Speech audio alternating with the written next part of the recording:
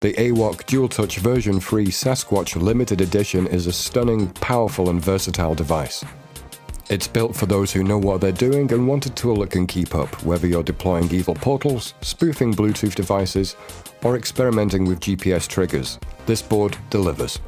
Now to use the Dual Touch V3, first we're going to plug it into the Flipper Zero, making sure the alignment is correct there. And then we turn on our Flipper Zero, and we want to go to Apps, GPIO.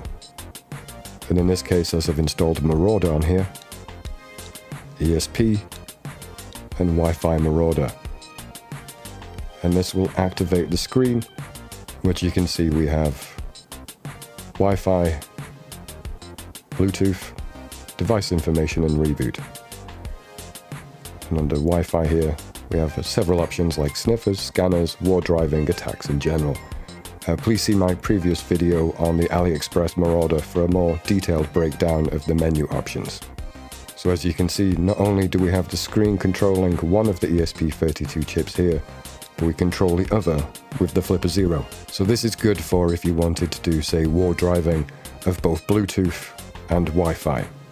You could do that with this as the GPS can be used on both chips simultaneously.